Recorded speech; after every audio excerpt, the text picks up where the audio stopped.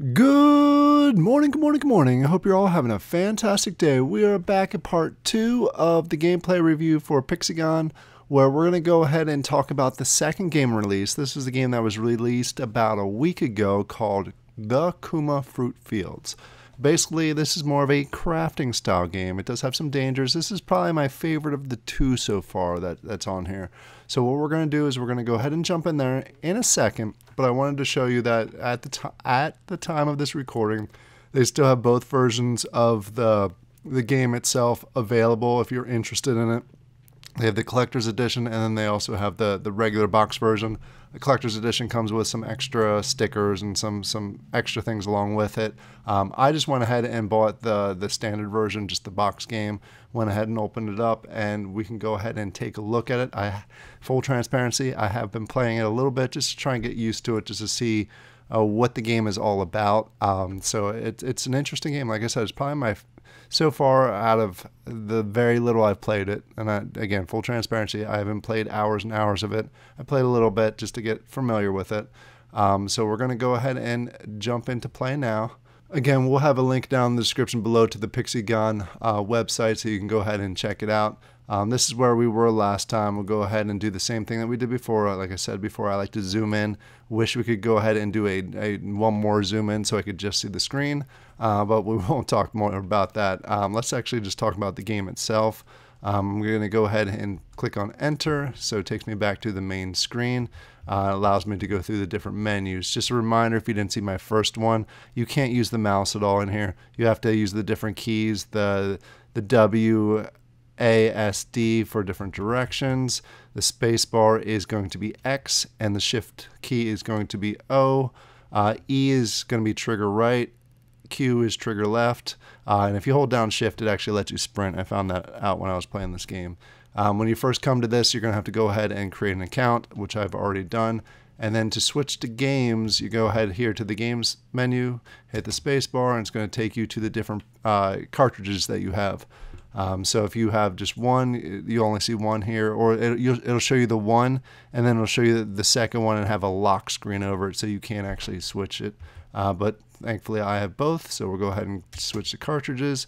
And now you can see right here that that Kuma Fruit Fields is now the the game that's in the within it now. So we'll go ahead and click right and click on this with a space bar, and then we're going to go ahead and jump in game. This is a gathering game so far from what I've seen of it. Um, I've gone ahead and I've already created an account, so we'll go ahead and click in. And I apologize for clicking my spacebar so much. Uh, it's just part of the game, and unfortunately, my spacebar is a little wonky, so you're going to hear clicking in the background. Um, so what you do is you go ahead around. Um, all these little placards or these signs is where you can put things. Um, I haven't figured out what these things are for yet, but the main thing you want to do when you first get in the game is run around and look for these little flower buds that you see right here. And if you click the E button, which is the right trigger, it's going to pop them up and you can go ahead and collect those. And you just run around and collect them just for a little bit. Uh, and what's going to happen is once you get enough of these, you can go to this guy who's the store owner, click on the, the right trigger, and you'll be able to take a look at all the goods that he has, which is different seeds, uh, different items themselves, and then different things that you can use around, like a chest. Uh, there's a work workable recipe. Um, oh, I'm sorry, work table recipe, which is going to allow you to make different recipes. Uh, you get houses. I already created the bonfire. Um, if you hit the, the, the L or the left trigger, um, and I say, should say Q in the left trigger, you can go ahead and sell different items that you already have in your um, inventory, and that'll allow you to get these little little uh, things up here that, that's basically the money in game. Uh, and you go ahead and uh, if you just click on down, it goes to the full menu. Click spacebar and it sells it all. Um, what I'm saving up for is I'm trying to get a house here um, because I did discover that at nighttime there are monsters that come around. They stay away from lit areas, um, but I'm assuming at night they're gonna uh, stay out of houses also. Um, so I'm gonna I'm gonna hold on to these for now. Um, so I'm gonna wait so I can go ahead and save up enough, which is 600 for this house. So let's run around a little bit more. So the goal coming out of this uh, is to be able to buy a house. You see it starting to get dark here. If I go ahead and click on O, which is the shift key, what happens is it goes through daily cycles. Um, and and once it gets super dark, you'll see I have the bonfire here, which I can cook. I've already planted a bamboo, and we got a couple other things here. Um, then I go through here. Uh, what's going to probably come up here is there's probably gonna, it's like a zombie bunny. It kind of looks like. Uh, I don't know if I'm going to see one now. I don't know if it's dark enough quite yet. It is getting pretty dark. So I apologize if you're watching this game on YouTube right now. I apologize for the darkness. Let's get back over to the bonfire. Um, the cycle is basically you can still go around you can still collect things and things are still going to grow. Um, but what's going to happen is uh, you just kind of have to wait it out.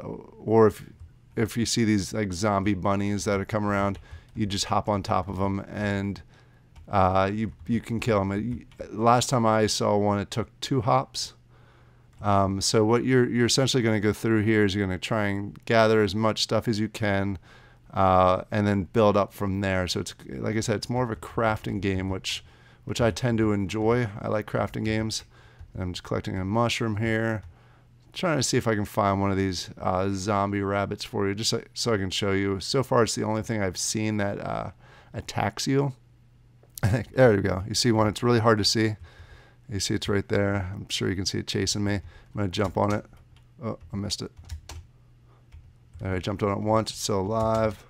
Jump on it again, and it's gone. Now we got a second one.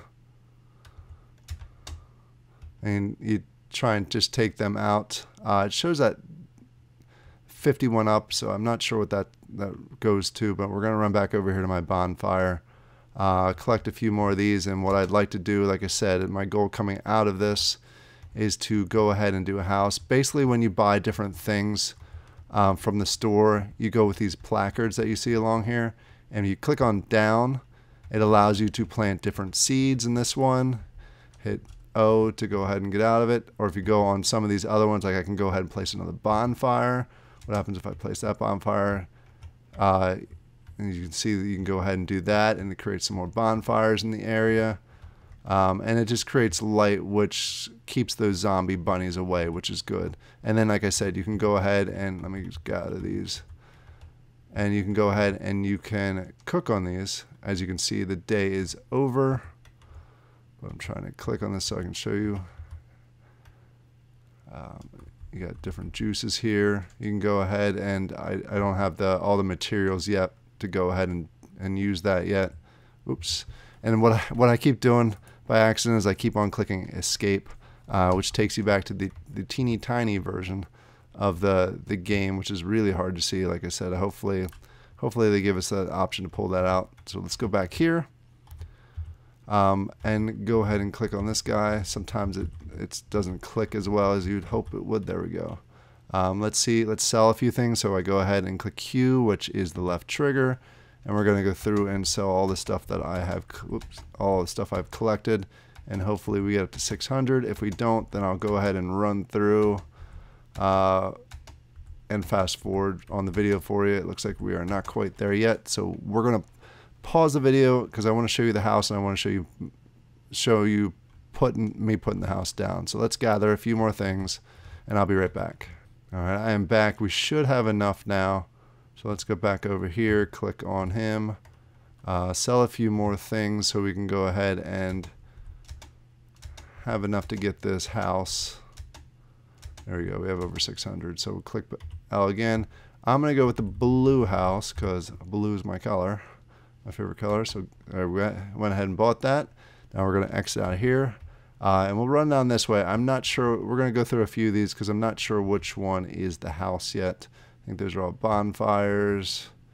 There's a berries, workbench, red house. Ah, I guess I need to get multiple houses. That's interesting. Oh, I guess I need some bamboo. If you look in the top left there, right up here, it looks like I need to both get the, the recipe, which I got, plus a number of these other things so I can go ahead and actually build it. So I won't actually be able to build it as part of this video. It's part of the construction. It's part of the collecting. It's, it's um, surprisingly simple yet surprisingly uh, addictive.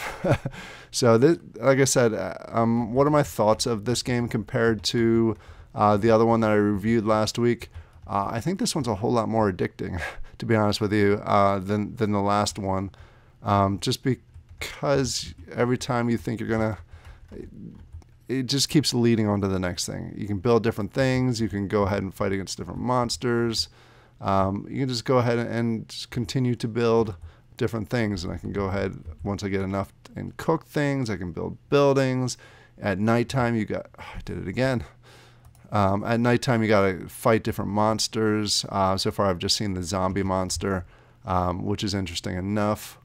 Um, and then it, it's it like I said, it's just kind of addicting. So uh, what I'm going to do is I'm going to continue to gather uh, bamboo uh, seeds so I can go ahead and plant some more bamboo. Um, and build out what I'm, I'm, looking to build out. What are some of the negatives? I, I, I don't think I necessarily have any negatives towards this game itself. My only negatives that I have is is towards um, the overall platform. Again, it's just two simple things. Uh, the controllers can be a little wonky at times. I wish they I wish you could kind of adjust them a little bit. Um, and then in addition to that, um, let me go ahead. In addition to that, uh, I wish you could zoom in just a little bit further because the zooming uh, or it, was an escape to go ahead and click out of the zooming because um, like I said before I, I, keep zooming out by accident uh, just because I, I, click on that. Um, but that's the game. Uh, it's five dollars. It's it's with definitely within budget uh, for for most people. Um, oh, I did it again. See so that's my struggle that I have with it.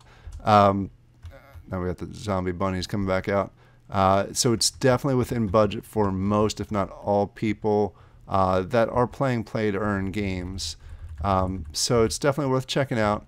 Go ahead down in the comments below.